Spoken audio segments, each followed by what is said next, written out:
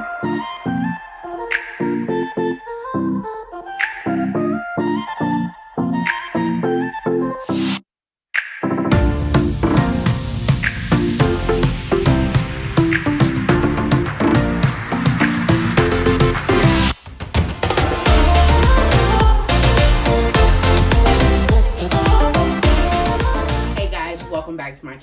So I was able to finish the mock-up for the Rosemary pattern by Mood Fabrics. Now, I'm gonna tell you guys, you should know, or if you don't know, you're about to know, I love blazers and jackets. I do. I make a lot of blazers and jackets because I don't know, they're comfortable to me. So I'm always looking for that pattern that is just going to be going to get, you know, my shape right, exactly what I want in a blazer. And guys, I think I found my pattern. So this is the Rosemary pattern by Mood. This is my mock-up. So this is not the jacket. This is the mock-up. Um, I went through and I did my measurements and I had to do some small changes, some adjustments to the side for my waist.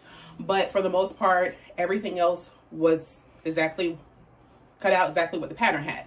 Um, saying that, I actually enjoy it. What I'm going to do is I'm going to put up the pictures that I took of the front and the back. Actually, I didn't take it. My husband took it.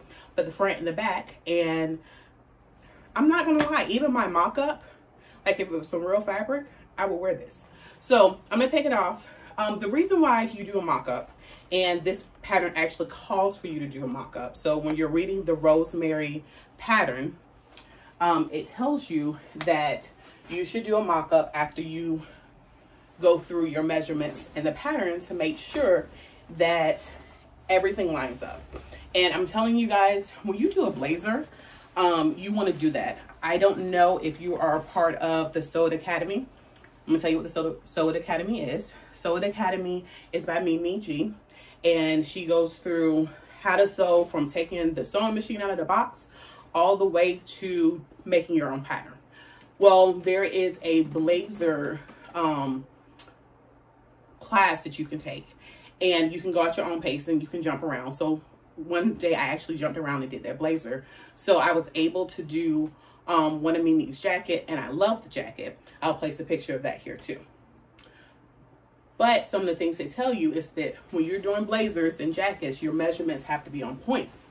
Well, you take all the measurements that you need for the rosemary blazer and I'm telling you guys it it works. And even for us big girls um, they got us in mind when we um, getting patterns off of mood. And I know doing mood patterns are a little time consuming because of the fact that you have to print out all the pages and cut and then you know, tape them all together. But if you can find a company like I did in one of my past videos, I talked about the company that I use to do the mood patterns is worth it. I really do love this pattern. It hugs in all the right places. And in addition to that, I don't think I'm going to make that many changes to it. Um, probably one of the changes I'm going to work on is the sleeve. So for the sleeve itself, it works. I think the placement of where the sleeve is on my shoulder, I want to change it. Now, one of the things that I always tell you guys, when I do a new pattern, I do a mock-up. Or if I've lost weight, if I gain weight, if I'm doing a pattern that I used to do, I'm going to do a mock-up because I want to be able to put it on and see what changes need to be made. And so far, the only changes that I need to make, ooh, Hold on, guys. I gotta go get my pencil. Is I want to bring in my sleeve a little bit. So I want to make it a little bit more narrow. And I want to change my shoulder. So the cap on my shoulder, I'm going to bring up a little bit. And one of the best things about making a mock-up is that you can do this. You can take it right off and you see the changes you want to make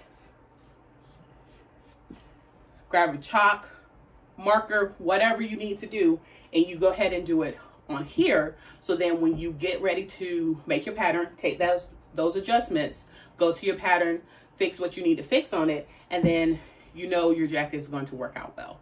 Um, I'm not doing a sew along for this. I'm going to do a pattern review. But so far with my mock-up, I am very excited to do this. I'm going to show you guys what fabric I'm going to use for this jacket. So when I first decided to do this jacket, I watched this, guys. When I first decided to do this jacket, I was going to do it all in this gold color. And I know it does not, it, you can't see how beautiful this fabric is.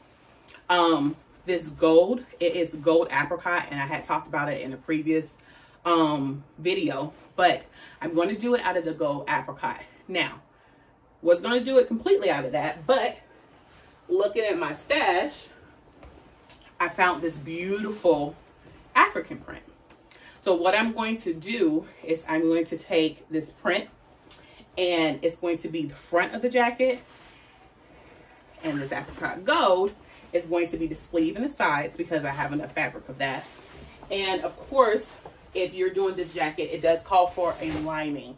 So I'm going to line it in this navy blue. You guys know me, I love blue, so blue has to be somewhere in there. So the inside of the jacket is going to be this navy blue. Now, some of the other things you may need when you're doing this jacket, um, it calls for about three to four yards of fabric, just depending on um, your size. In addition to that, I am going to do interfacing. So I'm going to interface the front part of my jacket and you can do that several ways. Um, if you have any questions on interfacing, definitely get with me and we can talk about it. Some of the other things besides lining, you're gonna need a couple buttons and thread and you're gonna be good to go.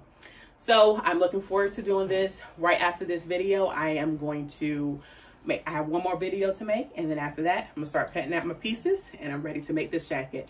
Thank you so much for taking the time to join me on my Mood Fabric collection. And I can't wait to show you this rosemary jacket. You guys have a great day.